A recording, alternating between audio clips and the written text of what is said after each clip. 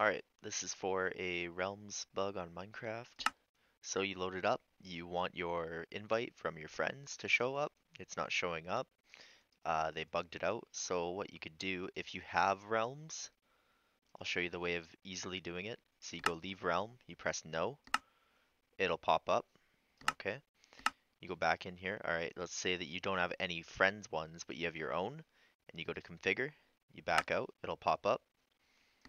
And now I was told that if you don't have any, uh, you back out, you go to options, you go to video settings, you find your full screen, uh, full screen off, you minimize it, go to realms.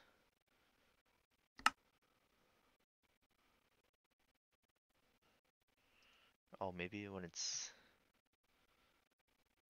Minecraft Realms, minimize, reopen. Oh, there. You press this button right here. So you make a, big screen, little screen, it'll appear.